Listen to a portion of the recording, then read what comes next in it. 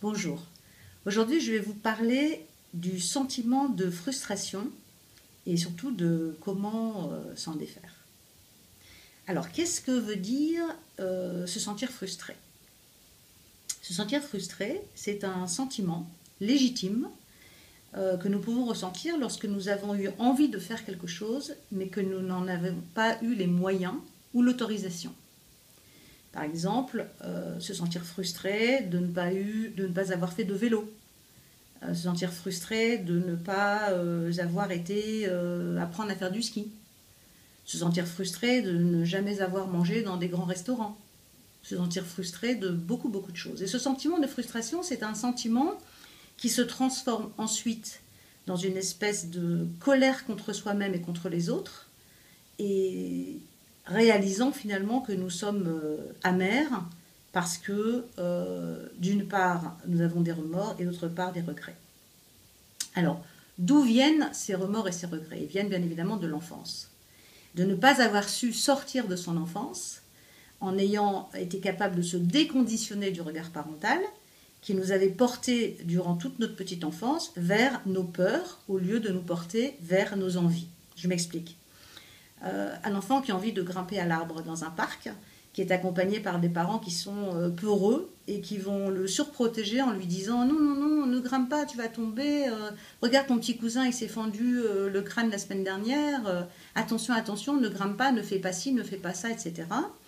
Ceci va influer donc l'enfant à avoir peur de, de tout, et au lieu de l'accompagner vers son envie, ils vont freiner son envie et toujours lui faire miroiter leur peur au lieu de les aider en les accompagnant avec des, mises en garde et des précautions qui lui permettent de pouvoir grimper à l'arbre en toute sérénité, en toute tranquillité.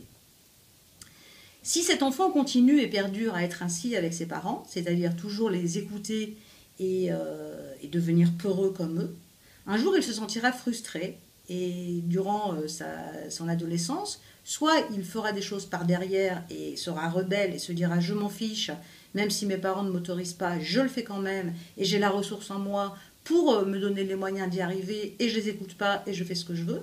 Et celui-ci, bon, il pourra y arriver sans trop de mal. Et puis l'autre enfant qui lui est beaucoup plus euh, docile et à l'écoute et qui ne, qui ne s'autorisera jamais à faire ce qu'il veut vraiment et justement emmagasinera petit à petit euh, nombreuses frustrations. Alors, comment fait-on donc pour euh, se détacher de ces frustrations? Eh bien, on fait une liste de toutes ces envies. J'aurais eu envie euh, de savoir faire ci, de savoir faire là, de savoir faire ci, de savoir faire là. Et on se demande comment on peut se donner les moyens de ne plus avoir peur. Par exemple, euh, je suis frustrée de ne pas avoir euh, appris à faire du ski, donc j'ai envie de skier. Donc, je vais me prendre des cours particuliers, me donner les moyens d'aller dans des cours publics ou des cours particuliers pour apprendre avec, en faisant le B à bas du ski, c'est-à-dire comme un débutant, même si c'est avec des enfants et que je suis adulte, c'est pas grave, je vais me donner les moyens de ne plus être frustrée, c'est-à-dire de ne pas ressentir de remords et de regrets. Car ce qui fait vraiment mal aux gens, c'est la frustration, puisque après, elle nous envenime et nous fait devenir euh, colériques, dépressifs, acariâtres, euh, et puis quelque part euh, déçus de la vie et, être incapable ni de se réaliser et ni de s'accomplir.